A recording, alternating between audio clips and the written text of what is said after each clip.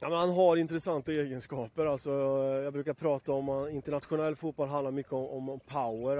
Och för mig har han de här power forwards ingredienserna i sitt spel eh, som jag blir förtjust i. Eh, eh, jag har sett honom i BP, vi har sett honom i, i Brighton i, i hans, när han spelat U23 där och lite mål han har gjort och sådär. Så att, eh, lite överraskad vart jag men jag visste att han hade de egenskaper han hade om man ser till honom just och det svåra med att spela U23-fotboll, hur länge kan man göra det om man verkligen vill nå landslag?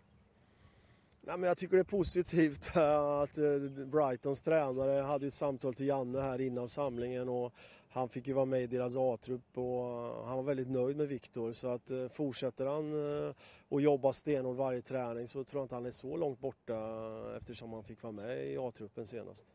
Kan du konkretisera mer vad en power forward är? Eh, för mig är en power forward det, är det, det här internationella steget. Eh, Eh, han är direkt i sitt spel. Eh, han funderar inte. Blir han rättvänd med bollen så tar han fri yta eh, och han gör det med hög fart och han ser målet liksom.